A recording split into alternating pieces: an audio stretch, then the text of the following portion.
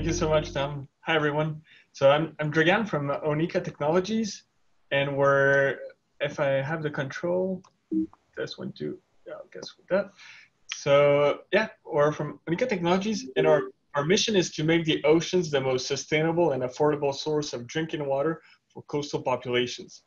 As you all know, water scarcity will be one of the greatest 21st century challenges.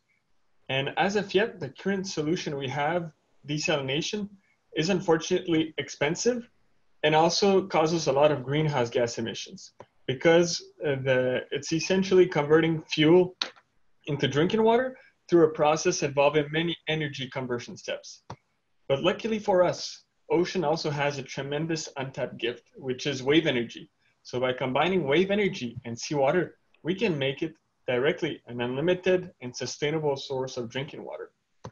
So Oneka Technologies the way we want to transform the industry is to eliminate all those energy conversion steps, where the last one is essentially pressurizing seawater at high pressure through RO membranes, which are sort of salt filters, to get the drinking water. We eliminate all those steps and use the mechanical motion of the waves to pressurize the same water using wave energy.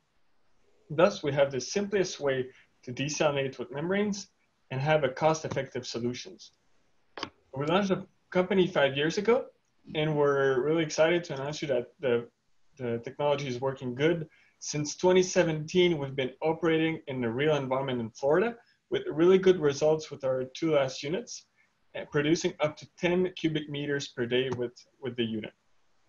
And this solution is modular and scalable, where we put an array of these units offshore, and they will provide drinking water directly to the coast with an underwater pipe. This solution is thus a zero greenhouse gas emission solution. It doesn't use any land because everything is offshore. The brine we produce is responsible and it's cost effective even at the current scale. And now we're moving from a single unit at a time to a first commercial scale demonstration project. So we have a, a, a customer that we just signed a contract with. It's uh, Ocean Village a properties owners association in Florida that committed to purchase all the water we will produce with up to 30 of those units. This will be, uh, this is a very flexible contract that will enable us to industrialize our product, scale the production, and generate revenues, while at the same time serving as a platform to reach our customers within the Caribbean, which have a much worse situation regarding water. The 11 interested clients we have a preliminary proposals with represent 30 million US dollars in potential sales. And within the Caribbean, we're talking about $1 billion, $1 billion of uh, equip potential equipment sales. And just to give you an idea of a single user. So here is uh, Bermuda, uh, um, Bermuda's Coral Beach Club. They currently get their water from a centralized desalination plant at the rate of $10 per cubic meter. And the water gets to uh, water reservoirs. What we offer them is to install an array of those buoys offshore, and this will provide them a three-year payback because they will use less water from the centralized conventional desalination plant, while at the same time providing good margins with the equipment sales for Oneka and the resulting water cost will be about two and a half US dollars per cubic meter. So we're beginning with the small uh, market that has small volumes, but the high price per cubic meter. We're talking about the Caribbean. We will use those revenues to grow our company, reduce our costs, and reach a global market of about $10 billion per year, where the projects would be a much larger scale, but at a lower price per cubic meter.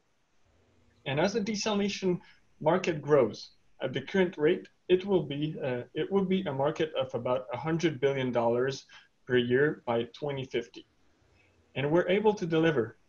Uh, as uh, Reno and I have founded the company five years ago, we've built uh, and developed this technology with our 10 employees. We built our pipeline, and we're now connecting with key market experts like Sean Mayer Steele, who is the Caribbean Desalination Association president, that helped us grow the company. And as I mentioned earlier, desalination as it is today is essentially converting fuel to water, making even more pressure on climate change and more of water scarcity issues. This is a dangerous vicious circle, and we're here to break it with our breakthrough technology. And we hope we'll have the chance to work with you to make that happen.